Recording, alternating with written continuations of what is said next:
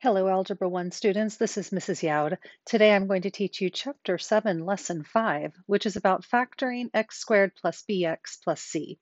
Please have your journals open to page 227. So as you remember from the last section, if I gave you a problem like this, you would be, and I asked you to fact to multiply it out, you could either use the distributive property where you multiply c times c and get c squared, and then you would get c times 1, which is 1c, and then 7 times c, 7c, 7 times 1, which is 7. And then you combine the middle term, so you have c squared plus 8c plus 7, right? So what we're doing for this lesson is we are given this right here, and we're, we're going to work our way backwards to find out what the what the factored form is. So you are going to be given the non-factored form and you will need to find the factored form. So we're working backwards from what we learned uh, in the last section. Something else that I want to let you know about is that I teach this very, very differently than other teachers and very differently than how the book teaches. I found this method of factoring uh, earlier in my career and I found that it was much, much easier for students. So if you're able to do today's lesson then you will not have any trouble with the next lesson as well, which is 7.6. And the 7.6 is the harder of the two. So if you're able to do it this way, then you should be fine with the next lesson as well.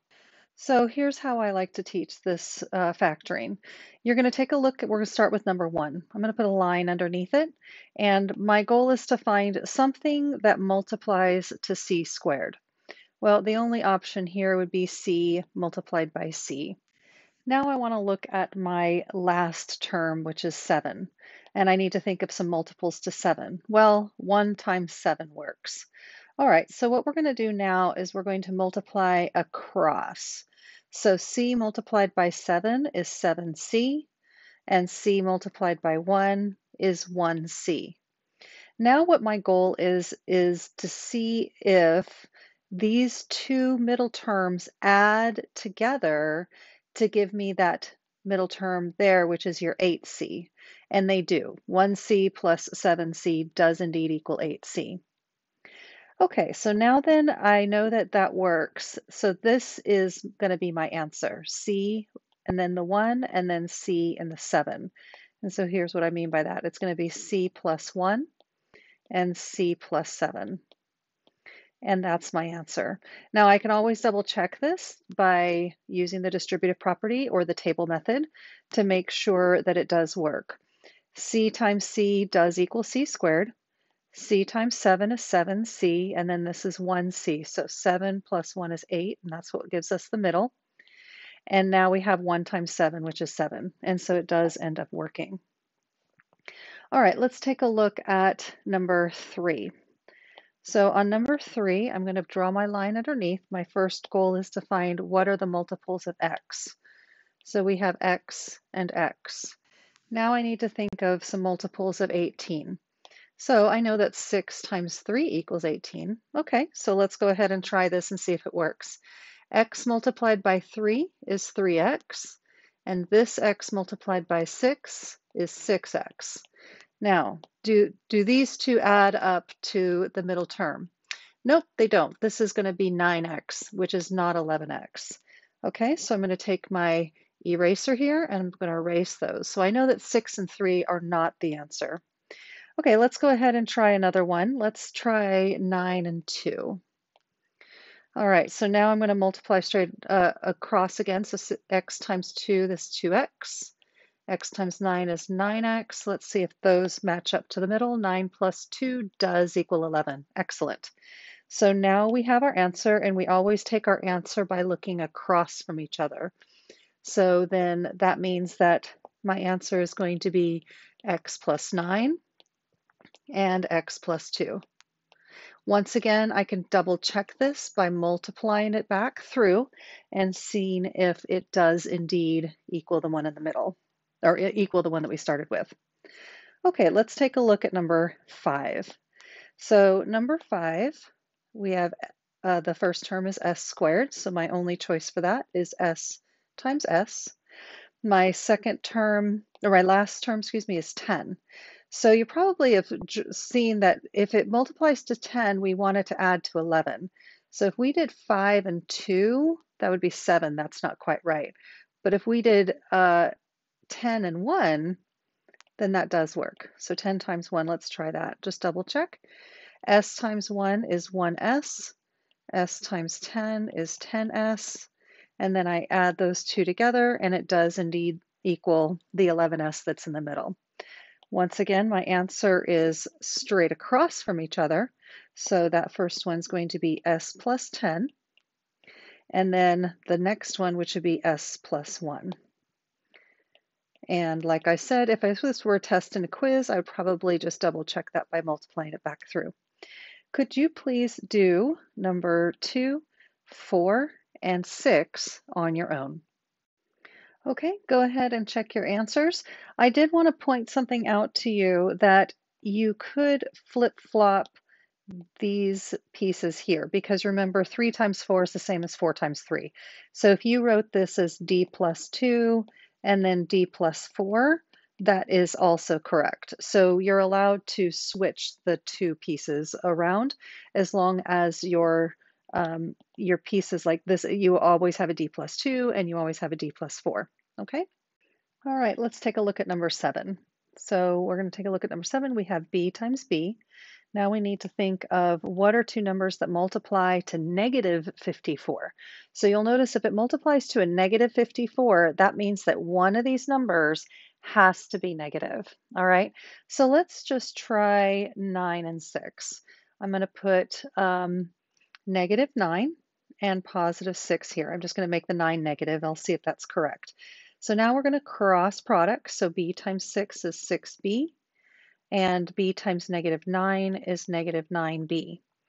All right, when I add those two together, I get pos sorry, I get negative 3b. But wait a second, I need it to be a positive 3.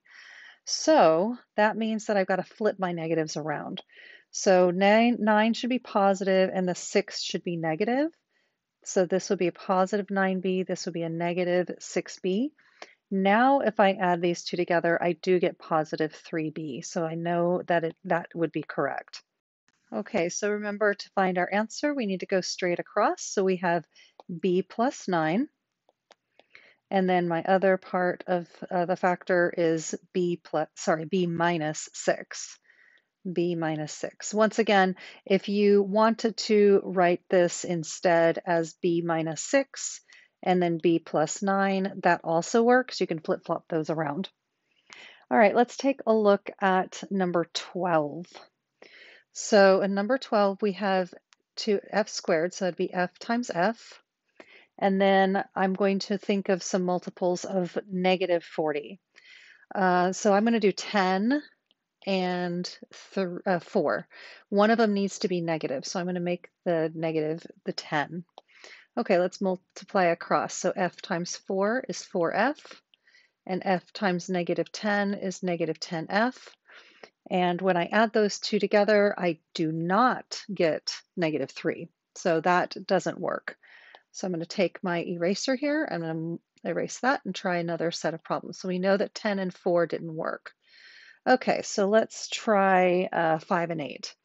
So I'm going to have 8, negative 8, and positive 5. Remember, one of them has to be negative because I have a negative number here. So negative 8 times positive 5 does equal negative 40.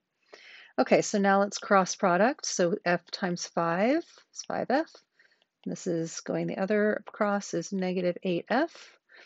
And let's see if those add up to negative 3, and they do. Okay, good. So that means that this is one of my answers, which is f minus 8. And this is my other answer, f plus 5. Okay, I would like for you to try a few on your own, please. Go ahead and finish the rest of this page. 8, 9, 10, and 11. Please check your answers and see how you did. If you got anything incorrect, see if you can find your mistakes. For these next set of problems, we need to solve the equation. So what we need to do first is to factor them. So on number 13, we need to find out what are some multiples of g squared. So we get g and g. then we need to find some multiples of 40. So I'm going to try 4 and 10. Notice that this is positive, but what's in here is negative. So that means I need something that multiplies to a positive number, but adds to a negative number. What that means is that both of those numbers need to be negative this time. So if I cross product that, we're going to get negative 10g, and cross that, we're going to get negative 4g. Uh-oh, these two do not match what's in the middle. So that means I need to erase what I have here. So this is kind of like a, a, a puzzle. We have to figure out what numbers work.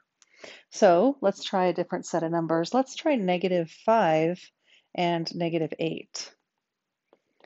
So when we cross product that, we're going to get negative 8g, and then we're going to get negative 5g, and see if those do add up to the middle, and they do. So that means that we have g minus 5 and we have g minus 8. So I'm going to write g minus 5 and g minus 8, and notice that it still equals 0. So if you remember from the one of our last uh, videos, we needed to figure out what g is. So we take each individual piece and e equal it to 0. So g minus 5 is equal to 0. So that means that g can equal positive 5. Now let's do the other side. We have g minus 8 is equal to 0. So that means g can equal positive 8. So g can either equal positive 5 or positive 8 as answers. If we take a look at number 16, 17, and 18, these are not written in standard form yet. So what we need to do is we need to move over that the number on the other side of the equation so that it's on the correct side. So on number 17, I'm going to add 2 to both sides. And so I'm going to get r squared minus 3r plus 2 is equal to 0. Now I can factor this. So multiples of r squared are r and r. Multiples of 2 are 2 and 1. Once again, I notice that the middle term is negative. So that means both of these numbers need to be negative. Negative 2 times negative 1 is positive 2. And when we cross product, you'll see that it does equal negative 3 in the middle. So this is negative 1r, and then cross that one is negative 2r, and they do indeed equal the one in the middle. So that means that my two answers, we go across like so. So we have r minus 2, and the other one is r minus 1. Uh, now we need to equal that to zero. So we're going to take each individual piece and equal it to zero. So r minus 2 is equal to zero, or r minus 1 is equal to zero. And when we solve for r on both of those, we get r is equal to positive 2 or positive 1. If you take a look at number 18, we need to subtract 8 on both sides. Then we will get t squared minus 7t minus 8 is equal to 0. And then you're going to solve it just like what you did on number 17 and number 13. So go ahead and finish number 18, and then while you're at it, do number 14, 15, and 16 on your own. All right, please pause the video and check your answers and see how you did. If you have any mistakes, see if you can find them. Let's take a look at number 19. The area of a right triangle is 16 square miles. One leg of the triangle is four miles longer than the other leg. We want to find the length of each leg. So we're told that it's a right triangle and they don't have a picture for us. So whenever I don't see a picture, that's the first thing I like to do is draw myself a picture. So I'm told that the area of this is 16 miles squared, 16 square miles. Then I'm told that one leg of the triangle is four miles longer than the other. So if the short leg is x, then four miles longer would be x plus four. Okay, let's see if we can figure out what the area of a triangle is. So the formula for the area of a triangle equals 1 half base times height. So that means if we plug in what we know, we know that the area is 16 so I'm going to plug in 16 equals 1 half. The base and the height are x plus 4 and x. Okay, now we just need to solve this problem. The first thing that I want to do is get rid of this 1 half. If I multiply this whole entire equation by 2 and this side by 2, then those two will cancel out and I won't have my fraction anymore. So now I have 32 is equal to x plus 4 times x. So I'm going to go ahead and multiply this through. So that gives me 32 equals x squared plus 4x. Now I'm almost in standard form. I need to move the 32 to the other side. So this leaves me with 0 equals x squared plus 4x minus 32. All right, so now if I could factor this, I could find my answer. So let's see if we can factor this. Uh, two multiples of x squared are x and x, and two multiples of negative 32 are 8 and negative 4. So now let's see if those cross product to what we need. So this is negative 4x here, and then this other one is positive 8x. All right, so 8 and negative 4 do indeed equal positive 4 there. So that means that if we take what's straight across from each other, this is going to be x plus 8 and the other one straight across would be x minus 4. And that's equal to 0. So that means x could equal either negative 8 or positive 4. So let's look back at what the question is. The question is asking us to find lengths. And I got a negative number 8 and a positive number 4. So if I think about this in the real world, this could not be a negative 8. So I'm going to go ahead and say, nope, that can't be the answer.